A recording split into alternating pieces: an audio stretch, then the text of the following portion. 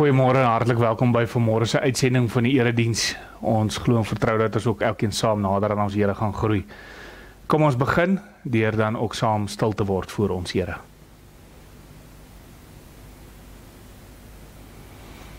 Ek kyk op na die berge. Waar sal daar vir my hulp vandaan kom? My hulp is in die naam van die Here wat hemel en aarde gemaak het en getrou bly tot in alle ewigheid. Mag die genade en die vrede van God ons Vader, ons Here Jesus Christus en die Heilige Gees met ons elkeen wees. Amen.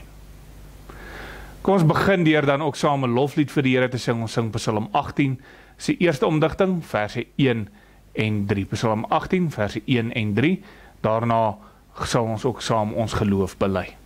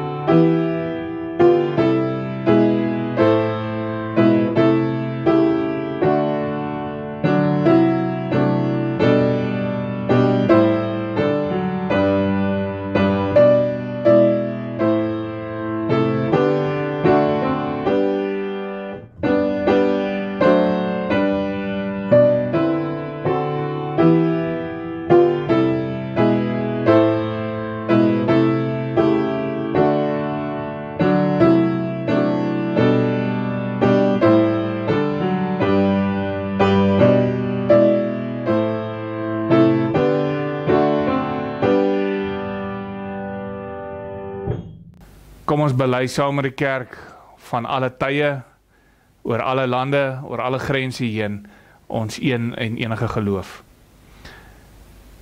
Ek glo in God die Vader, die Almagtige, die Skepper van hemel en aarde, en in Jesus Christus, sy enige gebore seun, ons Here, wat ontvang is van die Heilige Gees, gebore is uit die Maagd Maria, wat gelei het onder Pontius Pilatus, gekruisig is, gesterf het en begrawe is, en die angste van die hel tot die dood toe ondergaan het wat op die derde dag opgestaan het uit die dood, opgevaar het na die hemel en sit aan die regterhand van God, die almagtige Vader, waarvandaan hy weer sal kom om die lewendes en die dooies te oordeel. Ek glo in die Heilige Gees. Ek glo aan 'n heilige algemene Christelike kerk, die gemeenskap van die heiliges, die vergifnis van sondes, die opstanding van die liggaam en 'n ewige lewe. Amen. Ons gaan vanmôre daartoe oor om dan ook saam ons ehm um, self te verootmoedig voor die Here en ons doen dit vanmôre saam in hoe Jesus die wet uiteensit in Matteus 22 vers 34 tot 40. Toe die Fariseërs hoor dat Jesus die Sadduseërs die mond gesnoer het, het hulle bymekaar gekom en een van hulle 'n wetgeleerde het hom met 'n vraag probeer vastrek. Meneer vra hy, "Wat is die grootste gebod in die wet?" Jesus antwoord hom: Jy moet die Here jou God lief hê met jou hele hart, met jou hele siel, met jou hele verstand. Dit is die grootste en die eerste gebod. En die tweede wat hiermee gelyk staan is jy moet jou naaste lief hê soos jouself. En hierdie twee gebooie is die hele wet en die profete saamgevat. Wanneer die Here van ons vra om hom lief te hê met ons hele hart, met ons hele siel, ons hele verstand en al ons kragte, dan vra die Here basies van ons om hom lief te hê met alles wat ons is, alles wat ons lewe die moeite werd maak of wat ons bestaan, ehm um, wat ons maak bestaan. En daarom met ons totale lewe, nie met afdelingkies daarvan nie, maar met ons totale lewe moet ons hom lief hê. En as ons hom liefhet met hart, siel, verstand en al ons kragte, is daar net een God. Aanbid ons nie ander gode nie, sal ons sy naam nie uitelik gebruik nie, sal die Sabbatdag heilig gehou word. Sal ons ons Vader en ons Moeder eer omdat hy die koning oor konings is As ons dan ons naaste liefhet soos onsself, beteken dit om aan 'n ander te doen wat jy aan jouself gedoen wil hê. Dan sal ons nie moord pleeg nie, sal daar nie egbreek wees nie, sal ons nie steel nie, sal ons nie lieg nie, sal ons nie ander se besittings begeer nie.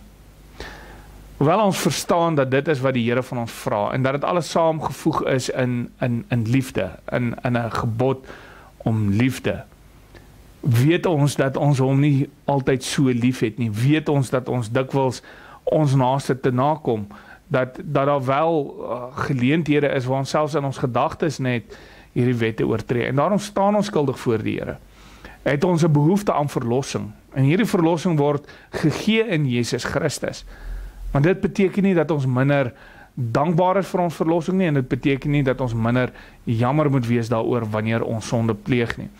En daarom kom ons antwoord op die op die wet van die Here deur Psalm Psalm 32 te sing daarvan die eerste vers.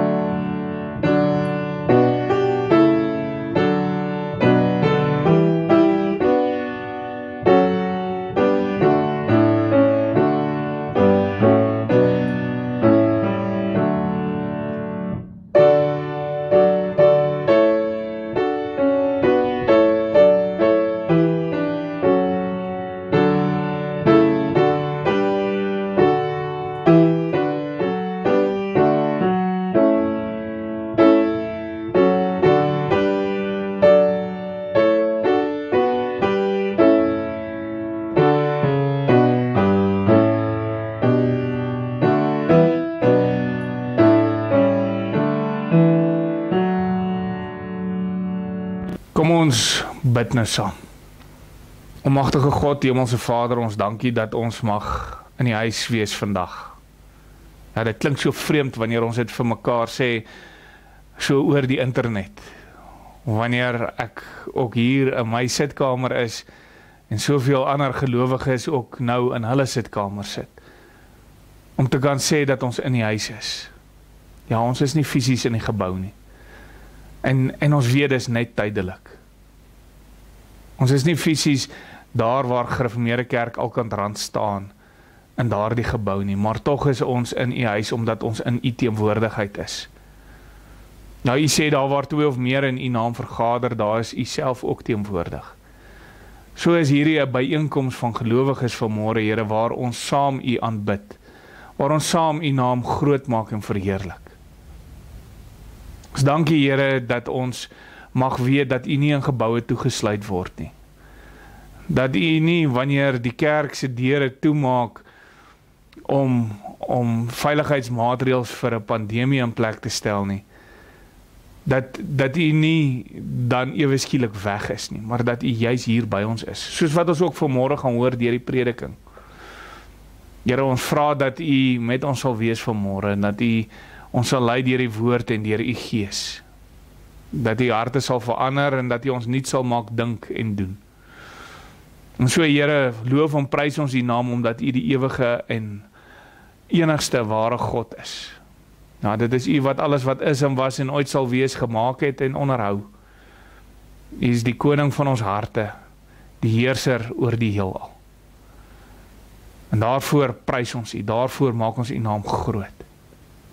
Maar ons doen dit ook in 'n diepe ootmoed met skuldbelydenis wanneer ons voor U neerval en ons sê Here dat ons skuldig staan voor U. Ja, ons het U nie altyd lief met hart, siel, verstand en al ons kragte nie. Ons het ook nie altyd ons naaste lief soos onsself nie. Wil U ons dit vergewe? Wil U ons lei om 'n lewe van gehoorsaamheid te lei sodat ons U sal dien met alles wat ons is en het? Dat ons U naam sal groot maak omdat U die enigste ware lewende God is. Ons bid dan ook Here dat U met ons sal wees as ons nou u woord oopslaan, neem weg dit wat skeiding maak tussen u en ons. Geer dat ons die woord sal hoor na die mening van u gees. Wil u ook dan met ons as 'n gemeente wees, Here, waar ons steeds beraadslag oor fisiese byeenkomste. Wil U ons die nodige wysheid en insig gee sodat ons besluite sal wees volgens U wil. Ons bid dan ook Here dat dat U sal wees met ons gemeentelede wat deur 'n tyd van beproewing gaan en ons ons dink op hierdie stadium in die besonder aan aan oom Pieter Kien wat behandeling gekry het afgelope week vir um tannie uh Elaine Viljoen wat afgelope week 'n rugoperasie of visie gehad het. Ons dink aan broer Frank Nichols wat wat uh, geweldige opdraande stryd het teen kanker op hierdie stadium. Tannie Fransie wat afgelope week gehoor het dat sy ook kanker het. Ons dink aan broer Nick wat ongesteld is ook by die huis, Nick van Herwalt. En ons vra Here dat U haar hand van ontferming om elke een sal vou. As dit U wil is dat U genesing sal skenk en dat U naam daardeur ook verheerlik sal word. Ons bid Here vir vir almal wat in hierdie tyd eensaam is. Wat deur 'n tyd van beproewing wat hierdie pandemie is, gaan en dit moet doen sonder iemand wat fisies by hulle is. Wil U vertroosting gee, wil U krag gee, wil U sekerheid gee dat U nie afwesig is nie. En dan bid ons Here dat U ook sal wees met die Fourie familie om Ben wat afgelope week oorlede is. Ek bid Here dat U hulle sal vertroos en versterk in hierdie tyd van beproewing. Dat U ook hulle vir hulle God van nabyheid sal wees en en as dit U wil is dat U ook vertroosting sal gee in hulle seer. Jy's vertroosting in die wete dat dat u kinders nie verlore gaan nie, maar die ewige lewe het. Ons bid dan ook Here vir die woordverkondiging nou vandag hier en oral oor die wêreld waar dit geskied. Mag dit wees tot eer en verheerliking van u naam. Ons bid dit om Jesus Christus ontwil alleen. Amen. Kom ons sing saam met die oog op die skriflesing en die prediking Psalm 68 vers 1.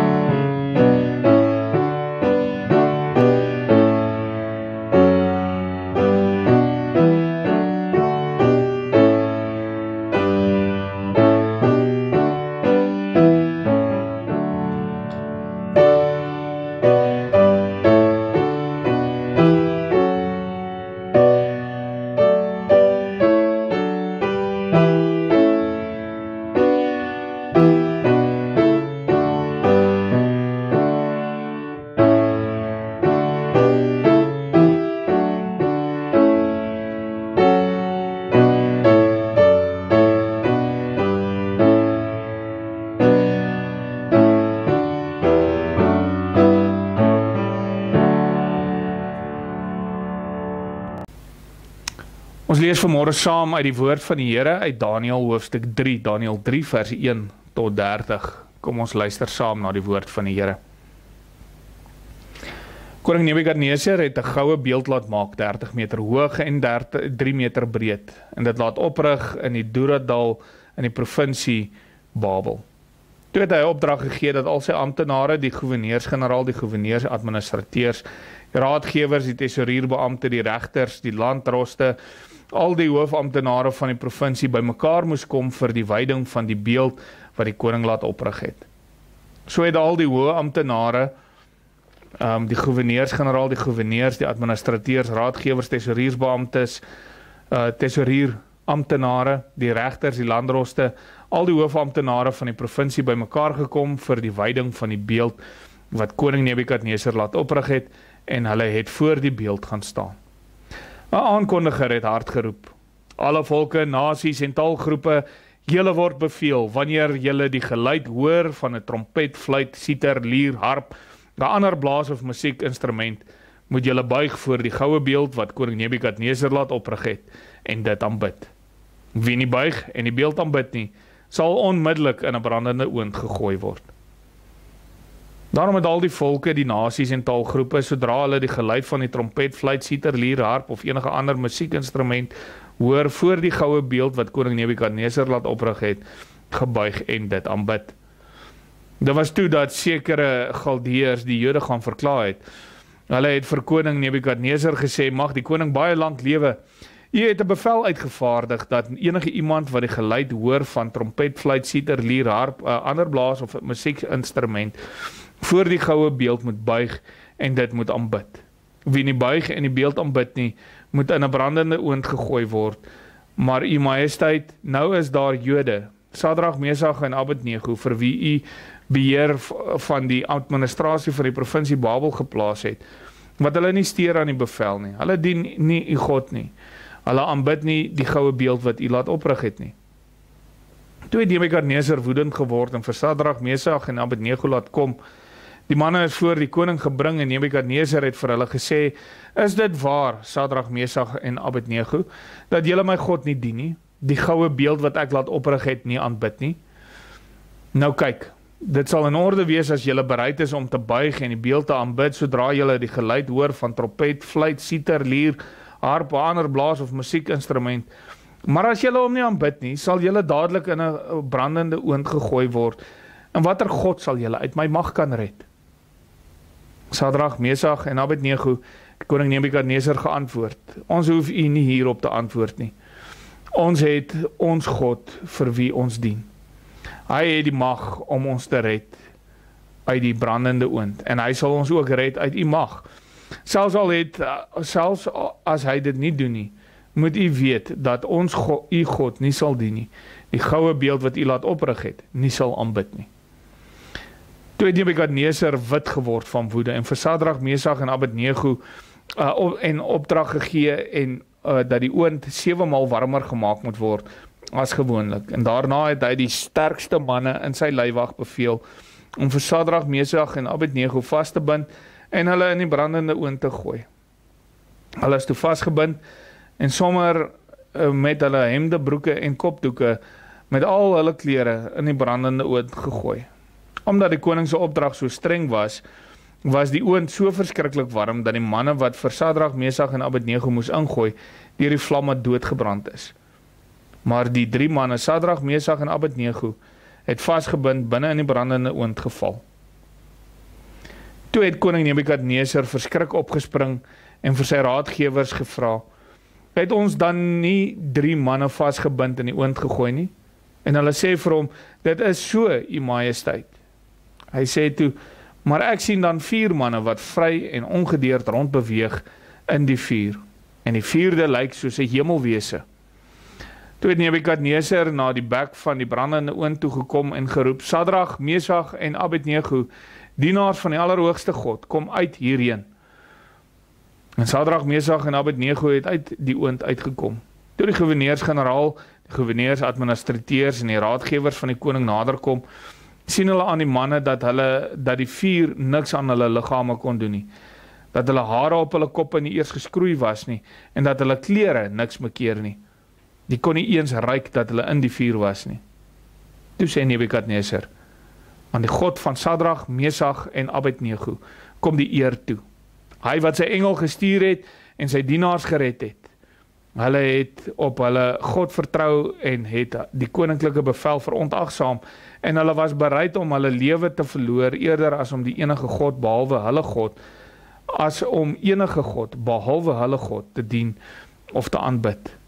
Daarom vaardig ek 'n bevel uit dat die enig dat enige persoon van watter volk, nasie of taalgroep hy ook is, wat met minagting praat oor die God van Sadrag, Mesach en Abednego, in stukke gekap moet word en dat sy huis 'n pynhoop gemaak moet word. Daar staan immers daar is immers geen ander God wat in staat is om so te red nie. Die koning het toe gesorg dat die voorspoed dat dit voorspoedig gaan met Sadrag, Mesach en Abednego in die provinsie Asie. Geliefdes in ons Here Jesus Christus. Julle sal onthou dat ons vorige week stil gestaan het by Daniël 2 en vir mekaar gesê dat dat alle mag kom van God af. Ja, selfs die die ouens met die meeste mag in die wêreld op hierdie aarde moet uiteindelik die knie buig voor die ewige ware lewende God. Dan mag kom God alleen toe, hy gee dit en hy neem dit ook. Iets wat Nebukadneser gesnap het, iets wat hy bely het. Maar nie almal se onthou is so goed nie. Veral 'n ou soos Nebukadneser wie se grootheid uiteindelik in sy eie pad staan. Maar dit lei dikwels daartoe dat 'n mens in dieselfde struik oor en oor trap. Dat dat iets soos 'n gewoonte sonde hier uitbroei. En en tog is hierdie hierdie gewoonte van ehm um, vasgevang wees in sonde is nie iets wat net beperk is tot tot tot magsvergrypers soos Nebukadneser nie. Dit het ook is ook 'n worsteling van nederige gelowiges, selfs die sogenaamde supergelowiges wat ons in die Bybel raakloop, die mense wat 'n mens graag sal wil wil navolg, se voorbeeld sal wil volg. 'n Man soos Paulus wat byvoorbeeld aan Romeine verklaar hoe dat hy konstant sukkel daarmee om die goeie te doen en dat al wat hy reg kry is om die slegte te doen omdat sy eie wil so sterk is. Nou hierdie is nie vandag se siekte nie. Dis nie dis nie iets wat vandag eers sy kop uitsteek nie. Is ook nie eers iets wat eers in Paulus se tyd sy kop uitgesteek het nie. Of Nebukadneser se tyd nie. Nee, reg van die begin van die van die aarde se bestaan het God die mens gemaak en uit die mens goed gemaak, uit die mens gemaak sonder sonde. Maar die mens verlei deur sy eie begeertes. Ja, Satan het dit wakker gemaak. Maar self verlei deur sy begeertes het homself vergryp aan magsobsessie. Satan Satan voed hierdie ding dat dat jy kan wees soos God. In essensie, jy kan self God wees. En dit is wat wat vir Adam en Eva laat gryp na die vrug. En dit is die vrug die vrug van hulle sonde wat in ons harte woon. Dat ons soveel kere in hierdie posisie kom waar ons dink ons kan self God wees. En en dan vergryp ons onsself aan mag. En dan veral wanneer ehm um, dit kom by 'n gelowige, dan vergryp ons onsself aan 'n mag om onsself te verlos. Ja. Dat ons bely dat Jesus Christus ons verlosser is, maar ons dink dat ons onsself moet verlos. Dit is 'n leuen so oud soos tyd self en En hierdie is ook uiteindelik die verleiding van Nebukadneser dat jy self God kan wees. Hierdie magsbeheptheid het hom in so 'n wurg greep dat hy nie eers kan onthou wat hy oor die God van Daniël, Sadrag, Mesag en Abednego bely het net van tevore nie. Kom ons verfris mekaar se geheue dalk net vanuit Daniël 2 vers 42 wat hy gesê het. Hy het gesê dis nou Nebukadneser se woorde. Werklik, julle God is die grootste van al die gode. Hy heers oor al die konings en hy openbaar geheime want jy kon hierdie geheim aan my openbaar. God is koning oor alle konings, so bely Nebukadneser self. Maar sy beskouing van wat 'n God is word uiteindelik op uh, in sy optrede verklap. Want die ou nabye ooste, ek ek dink eintlik nie dit was 'n geheim gewees dat dat dit mense is wat gode skep nie en dat dit dikwels groot konings is wat opgehef word tot tot God status nie. En so wanneer wanneer Daniël die openbaring gee en en um, die verklaring van hierdie droom wat hy gehad het, dan val Nebukadneser voor Daniël neer en en en aanbid hom uiteindelik ook al is dit dat hy sê hy gee eer aan God. Maar dit verklap iets van sy siening van wat 'n God is. Want Daniël se God se mag, se insig moet in Daniël geleef wees volgens Nebukadneser, 'n manier van van dink wat ook deurskemer in sy siening van homself. Naamlik dat hy Nebukadneser self 'n god is. En daarom dan later dat hy ook wanneer hy met Sadrag, Mesag en Abednego praat, nadat hulle ingebring is omdat hulle nie gebuig het voor die voor die beeld wat hy opgerig het nie, vir hulle sê maar maar watter god dink jy gaan julle uit my mag red? Ek is die God. Ek is die een wat oorwin. Ek is die een wat julle uit julle God se stad in Jerusalem gehaal het. Ek is die een wat die tempel se skatte gevat het en dit hier in my tempel kom sit het. Watter God kan julle red uit my mag, Ek is die God. Maar soos ek sê, party mense se onthou is nie so goed nie. En dan moet 'n mens se geheue aangewakker word. Nou volgens kommentare het is hier aansienlik aansienlike tydsverloop tussen die droom en die gebeure met met die aanbidding van die beeld. Daar's 19 jaar wat verloop het tussen die twee. So mense sou dalk kon argumenteer ons verstaan waarom het het uh, Nebukadneser begin vergeet wat hy gedroom het en die uitleg daarvan. Dit was immers 19 jaar terug. Boonop het Nebukadneser die Judeese en Siriëse oorloë nou afgehandel en as oorwinnaar uit die stryd getree. Nog 'n oorwinning oor die God van Israel in sy eie oë. En die buit van hierdie oorloë natuurlik dit wat wat die oprigting van hierdie beeld borg.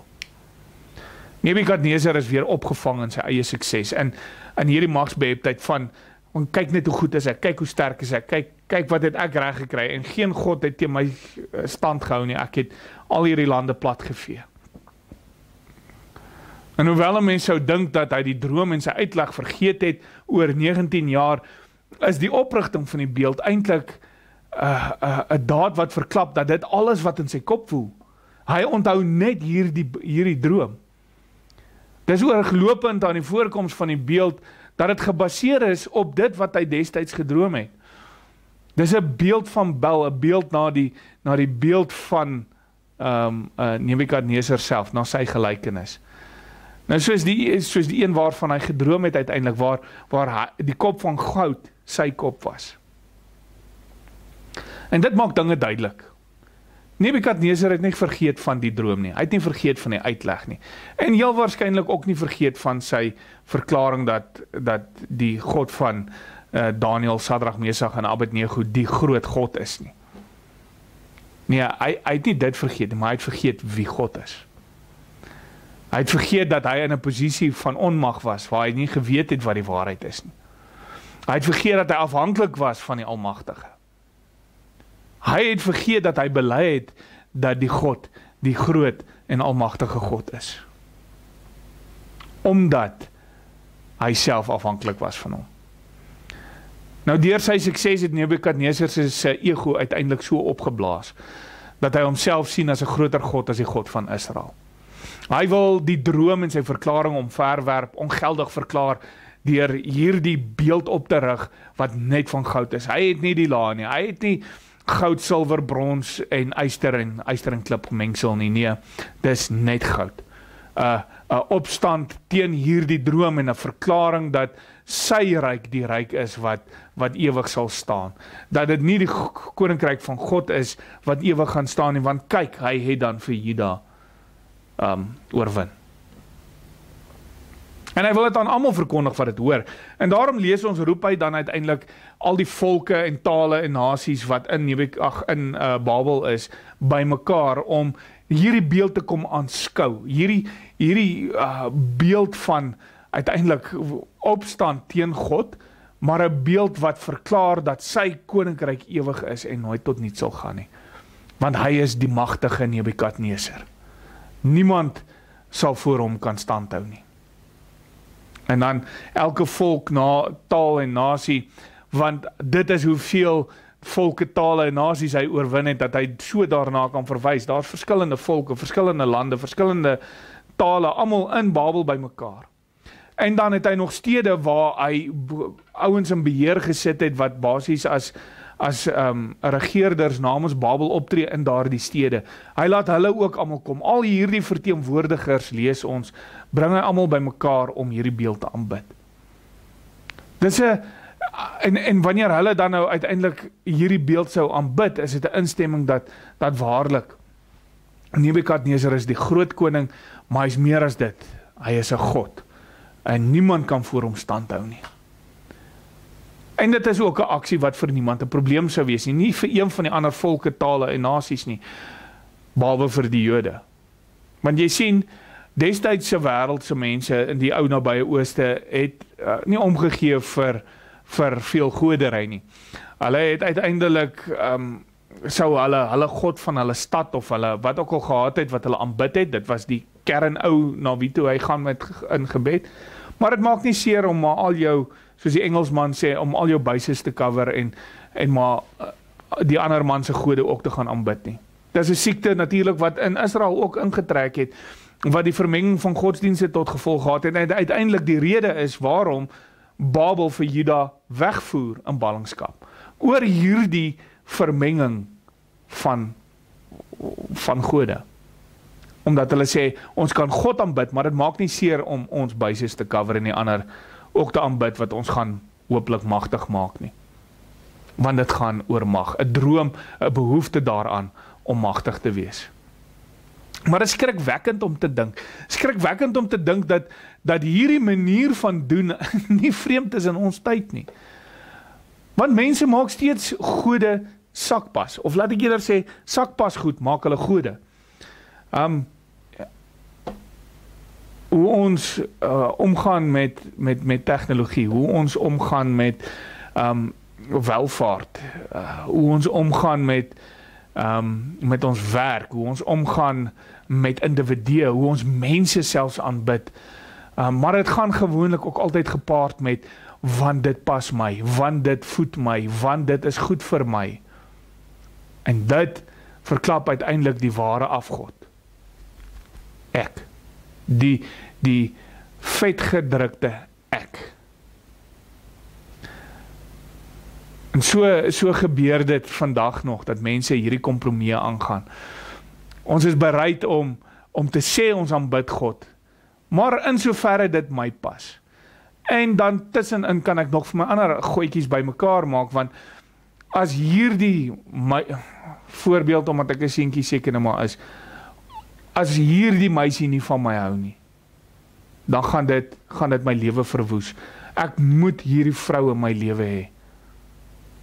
En so aanbid ons mense, aanbid ons hierdie goed wat ons dink my betekenis gaan gee. En uiteindelik is daar niks of niemand wat jou ooit tevrede gaan stel voordat jy nie besef dat dit God is wat vir jou genoeg is nie. En vir jou genoeg moet wees nie. Omdat hy genoeg is. As jy hom regtig ken. As jy regtig in 'n lewende verhouding met hom staan. En dit is dis dan uiteindelik die punt waarby ek net wil uitkom is dat hierdie mense is bereid om kompromieë aan te gaan. Hulle het nie eintlik 'n behoefte daaraan om um in 'n in 'n oond gegooi te word nie. Hulle is hulle is bereid om kompromieë aan te gaan. Maar veral in hulle geloof en solank dit vir hulle self voordeel inhou. Nou, dis nogals voordelig om te bly lewe. Nou vir die God van Israel is hierdie egter van die begin af 'n probleem. Ons God sê van die begin af, jy kan nie God en Mammon dien nie. Jy kan nie ander gode aanbid nie. Israel ehm um, wanneer hulle die beloofde land moet inneem onder die leiding van die rigters word aangesê dat hulle hierdie goed moet verwyder en skoonmaak en weggooi. Al hierdie afgoderry wat onder die volke is wat hulle besig is om in te neem. En dis waarom die opdragte wat baie mense uh, dikwels sien as wreed omdat God gesê het maar maar vee hulle weg. Daar kan niks weer oorwees van hierdie stad nie dan gaan dit nie oor wie die mense is nie, maar dit gaan oor die afgoderry wat en gebruike wat sy volk gaan verlei. Ja God is van die begin af duidelik hieroor. Daar is net een God en jy kan nie ander gode aanbid nie. Daar is nie kompromieë want ek is 'n sê die wet jaloerse God. Of jy dien die Here of jy doen nie. Daarso is nie 'n middelweg nie. Jy kan nie eweveel vir God oor hê en eweveel vir Mammon die geld God oor hê nie. Uiteindelik gaan jy gaan jy of die een of die ander een hoor ag. En dis hoekom God sê daar's net een God en dis ek en ek is die lewende God. En ek is genoeg en ek sal voorsien in alles wat jy nodig het. Of jy dien God of jy doen nie. En daarom is hierdie opdrag van Nebukadneser 'n wesenlike probleem vir die Judeërs en dan veral as jy 'n lewende verhouding met God het. So as jy so Sadrag, Mesach en Abednego erken en bely dat daar net een God is, as jy verstaan hoe feilbaar jy self is en en hoe afhanklik jy van God is, dan dan besef jy dat hierdie opdrag nie haalbaar is nie, want ek gaan God verloon. Ja, ek gaan sy eer afbreek. Hierdie drie weet Hierdie oomblik is soveel groter as hulle self. En en ook al en en dis hulle belydenis, ook al word hulle verbrand, ook al word hulle doodgemaak. Hierdie gaan nie oor hulle nie, want hierdie gaan oor wie God is. En wat hulle nou hier doen is 'n belydenis teenoor almal wat daar teenwoordig is van wie God is. Hulle kan nie die beeld aanbid nie. Nie oor hulle lewe in gevaar is nie. Nie nie omdat hulle reputasie in gedrang is nie. Of omdat hulle posisie as suksesvolle adviseurs in die koninkryk van van Babel wat die koninkryk in die wêreld op hierdie stadium is in gedrang is nie. Hulle het basies as jy nou in wêreldse terme daaraan dink, die topposisie by die beste maar besigheid in die wêreld, het hulle van die topposisie topposisies en hulle bring dit in gedrang deur op te staan en te sê ons sal nie hierdie beeld aanbid nie. Ja, hulle hulle kan nie nie aanbid, hulle kan nie hierdie beeld aanbid net omdat hulle fi, uh, finansiële voorspoed in gedrang is nie. Nee. Hulle kan nie hierdie beeld aanbid nie omdat dit sal wees om God te verloon en sy eer af te breek. Hulle leef fisies dit wat Jesus later vir ons in Markus 8 leer van disippelskap. Hulle het hulle self verloon. Hulle het gesê ek is nie so belangrik nie, maar God is. Ek sit myself op die agterbank en ek sê die Here se eer is die belangrikste en dit stel ek voorop. En hulle het hulle kruis opgeneem, soos die Here in Markus 8 sê. Hulle dra die gewillige met oorgawe die gevolge van hulle van hulle optrede tot eer van die Here. En hulle volg die lewende God in alles. En daarom kan hulle hulle vertrou, met vertroue vir Nebukadneser antwoord wanneer hy hierdie antwoord van hulle eis en sê wie kan julle uit my mag uitred? Dan sê hulle maar Nebukadneser, ons hoef jou nie hierop te antwoord nie. Ons het ons God vir wie ons dien. En hy het die mag om ons te red hieruit. En en ook al sou hy dit nie doen nie. Hierdie beeld wat jy laat oprig het, sal ons nie aanbid nie omdat ons gehoorsaam is aan hom. Is dit nie wonderlik hoe hierdie woorde van Sadrag, Mesag en Abednego ekho waaroor ons al eintlik in hierdie tyd gepreek het nie. Want hulle stel nie vir God op die proef deur te sê, ehm um, God sal ons nie uh laat doodgaan of so uh, verstaan in hierdie posisie hulle self plaas waar waar God op 'n wonderbaarlike manier moet ingryp om hulle te red nie. Nee, hulle sê eenvoudig. Ons weet God is almagtig. Hy kan ons red. Maar hy hoef ook nie. En as hy dit nie doen nie, is dit ook oukei. Okay, want hy is God. Hulle stel nie vir God op die proef nie. Hulle verklaar God is almagtig. Hy is by magte om te red. En hulle aanbid hom omdat hy God is. Nie vir die voordeel wat hulle daaruit gaan kry nie. Want op hierdie stadium hou dit niks voordeel in nie. Hulle word aan 'n brandende oond gegooi. Nee, hulle aanbid God omdat hy God is. En daarom hou hulle voet by stuk. Hy is God. En ons is sy kinders. Ons buig nie voor God se skepsels nie. Ons buig net voor God. En dit stuur vir Nebukadneser oor die rand van sy sinne. Nou hierdie kragtoer waarop hy is, borrel uiteindelik oor. As hy beveel dat sy laaste of sy sterkste raadgewers uiteindelik sy beste raadgewers deur die sterkste leiwagte in die oond gegooi moet word. Maar dis 'n dis uiteindelik 'n smeltkroes van God se genade. Dit wat beproewing baie keer is. Nou Juda, soos baie van ons vra dalk in so 'n situasie, maar waar is God? Ons stad het geval, die Babiloniërs het dit ingeneem. Hulle het God se se tempel leeg gedra. Waarom reageer die Here nie op hierdie magsvergrype van Babilonie? En baie van ons vra dit dalk ook wanneer ons kyk na die korrupsie en as ons hoor hoe dat politieke leiers hulle self die Messias noem en sulke sulke aklige goeters kwytraak. Dan vra mense maar hoekom hoekom wil die Here nie net hierdie mense net vergrys nie? Hoekom waar is die Here? Is hy dan afwesig? Is hy nie hier nie? Hoekom is daar 'n pandemie? Hoekom gryp die Here nie in en red sy kinders nie? En so met met hierdie onsekerheid uiteindelik tog maar diep in hulle harte stap Sadrag Mesach en Abednego op hierdie vuur eh, op hierdie vuur af. Dan moet jy hulle dink soos hulle nou net gesê, God is almagtig, hy kan ons red, maar hy hoef ook nie en dit gaan ook nie noodwendig gebeur nie. So hulle stap op hierdie vuur af en in hierdie wete dat ons kan lewe, ons kan dood, maar dis tot eer van die Here. Een ding daarvan is hulle seker en dit is God se genade vir hulle wat 'n lewende verhouding met hom het is genoeg. dat God die groter prentjie sien en dat dit wat hy besluit uiteindelik die beste is, dat hy in beheer is en dat hulle hom wil dien tot met hulle laaste asem. Nou sekerlik het hulle soos Paulus die worstelstryd om die goeie te doen in plaas van die slegte. Seker het hulle die hierdie daaglikse worsteling om gehoorsaam te wees aan die Here in plaas van hulle eie begeertes en behoeftes. Maar een ding staan vir hulle vas in die middel van dit alles. Is ons is afhanklik van God. Ons kan onsself nie red nie. Ons kan onsself nie verander nie. Ons kan self nie uh, onsself op 'n plek kry dat ons 100% gehoorsaam is nie. Dit gebeur in afhanklikheid van God. Dit is hierdie hierdie afhanklikheid van God is wat maak dat gelowiges kan wegdraai van gewoonte sondes na 'n lewe van gehoorsaamheid aan God se wil. Dat ons kan berou hê oor wat ons verkeerd doen. Dat ons kan wegbeweeg van 'n wettisisme waar ek self probeer regmaak dit wat verkeerd is. En dat ek selfs met hierdie wettisisme probeer bedek wat ek verkeerd doen met 'n vroom lewe sodat die wêreld kan sien maar maar hierdie man is 'n goeie mens. Maar die wêreld ken nie my hart se diepste worstelinge. Uh hierdie sondes wat ek agtertoe deure doen nie. Ja, dit dit is afhanklikheid van God wat maak dat ek kan wegbeweeg hiervan.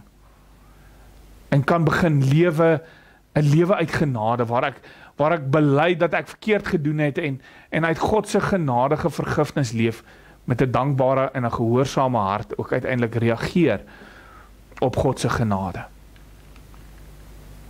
Dit is hierdie genade van die Here wat Sadrag, Mesach en Abednego uiteindelik die gemoedsredes is gee om te kan sê ons aanbid God en niemand anders nie. 'n Belydenis van God se genade wat vir hulle genoeg is. Dat die dood en die marteling wat hiermee saamgaan, hulle nie in hulle geloof of hulle vertroue of hulle afhanklikheid van God sal laat struikel nie.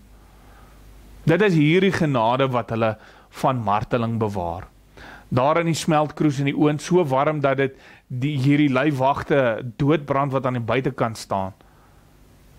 Ja, dit is nie hulle vertroue en hulle geloof of hulle spesiale optrede of getuienis wat hulle uiteindelik red nie, maar die genade van God. Ja, dis God self. Dis hy wat red. Hieraan het Sadrag, Mesach en Abednego nie 'n greintjie aandeel nie. Dit is God en dis sy genade. Hy verlos vir Sadrag, Mesach en Abednego tot die eer van sy naam. Die volk van God word herinner aan uh herinner in die gestalte van 'n vierde persoon in die oond dat God nie afwesig is nie. Maar jy's daar in die vuur saam met ons is. Ja daar word daar waar ons selfgemaakte gode weggebrand en weggespoel en losgeruk word uit ons hande deur beproewings. Want jy sien dis wat beproewings doen, is dit dit ruk hierdie dinge wat ekstra is in ons verhouding met God, dit ruk dit weg. Dit vat dit weg, dit brand dit weg en maak dit skoon.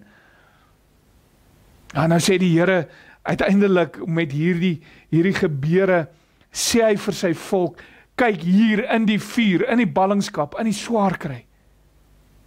Hier is ek by julle. En ek kom vou julle in my genade. Ja hier in die pandemie. Hier waar dinge in Suid-Afrika nie altyd glad loop nie. Hier is God teenwoordig. Hier omvou hy sy kinders in genade. En kan ons weet of leed of voorspoed op oor ons pad kom. Hy is nog steeds God en op hom kan ons vertrou want alles laat hy vir ons ten goeie meewerk. En daarom dat die Here ook in Jesaja 43 vir ons gesê het, ook al gaan jy deur diep waters, ook al gaan jy deur 'n vuur, deur 'n vuur, Dit sal jou nie verskroei nie, dit sal jou nie wegspoel nie, want ek is die Here jou God en ek gee elke tree saam met jou daar in daardie beproewing. Daar is ek. En waarom Dawid kan bely dat die Here sy herder is en daarom dat hy nie die dal van doodskade vrees nie. Triomfantlik in hierdie gebeure kondig die almagtige God sy teenwoordigheid in die vuur in die ballingskap in Babel in beproewing aan. Verseker hy die volk ek is nie vasgevang in 'n gebou daar in Jerusalem nie. Ek is met julle waar julle ook al gaan. En vir ons sê die Here, ek gaan julle vooruit in julle verdrukking, in julle swaar kry, in julle seer. Ek ken dit omdat ek dit in omdat ek in Christus ook mens was saam met julle in hierdie gloeiende hitte van aardse bestaan vol beproewing en versoeking. Ja, hier is ek saam met julle. Ek is 'n God van empatie. Ken jou seer. Ek voel jou seer want ek het dit ook gevoel. En ek voel dit steeds. In 'n oogwink ek word 'n hopelose situasie soos aangehits word deur 'n waansinnige koning. Waansinnig met met mag. Word hierdie 'n stuk evangelie. 'n Heenwysing na die verlossingswerk in Christus wat middelaar is, tussenganger, wat die toorn van God dra en ons nie deur sy straf vir die sonde geraak word nie want Christus neem dit op hom. Genade is wat dit is, geliefdes. Genade onverdiende goedheid van God. Hy gee vir ons meer as wat ons toekom. Genade, genade dat hy Sadrag, Mesach en Abednego red uit die vuur. Genade dat hy hierdie gebeure gebruik om uiteindelik vir koning Nebukadneser te verlos van homself. Sodat hy ook die Here bely as die lewende God. Gaan lees hoofstuk 4 wat ons ook in die afgelope week se leeswerk gehad het. Dis genade van God dat hy ons nie los waar ons is nie. Dat hy ons geheue so 'n bietjie aanwakker elke keer wanneer ons begin dink dat ons self God is. Dat ons in hierdie smeltkroes en hierdie vuur van beproewing insit om weg te brand dit wat ekstra is in ons verhouding met hom. Sodat ons weer sy genade daarin kan beleef en kan onthou. Hy is God. En ons is sy kinders. Dat ons kan bely wanneer ons vergeet wie hy is, dat hy ons vergewe en dat hy ons uh, sy kinders maak en dat ons sy kinders bly. Leef uit hierdie genade. Moenie die moenie dit goedkoop maak deur roekeloos daarmee om te gaan nie. Maar leef uit sy genade want dit is meer as genoeg. Amen. Kom ons bid saam. Ons almagtige God en hemelse Vader, ons loof en prys U heilige naam vir die voorreg om u woord in ons besit te hê, om u te kan ken deur u woord. Om te kan weet dat u uself aan ons geopenbaar het, aan ons bekend gemaak het wie u is.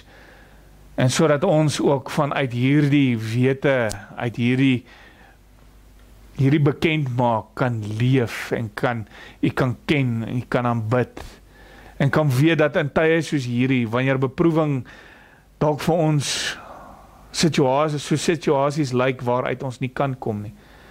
Dat ons kan weet dat U juis daarin saam met ons of dit vuur of water of diep riviere is of dit 'n 'n brandende oond is. U is daar teenwoordig. En U stap hierdie pad saam met ons. Ja, U is ons genadig. U verlos ons. U red ons van onsself. Gee Here dat ons ons egos nie so sal opblaas dat ons dat ons van U sal vergeet nie. Dat ons sal dink ons is groter as U nie. Dat ons sal dink dat ons groter as ons medemense is. Sodat ons nie hoef te vra vir hulp nie, maar dat ons juis bereid sal wees om in afhanklikheid van mekaar te vra vir hulp. En dat U ons ook sal dra daar waar ons self nie meer kan loop nie. Ons bid dit van U Here nie omdat ons dit verdien nie, maar enkel en alleen uit genade. Amen.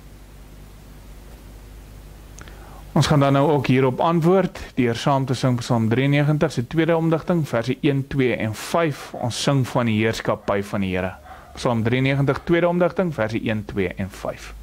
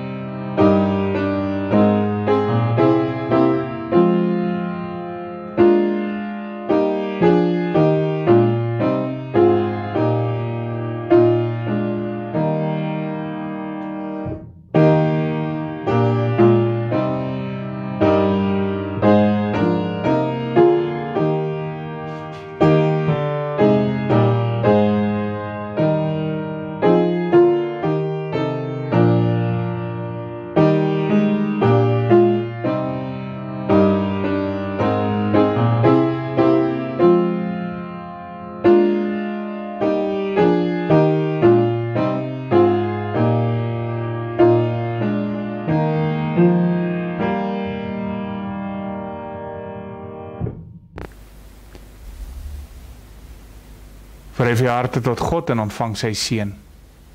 Mag die genade van ons Here Jesus Christus en die liefde van God en die gemeenskap met die Heilige Gees met ons elkeen wees. Amen.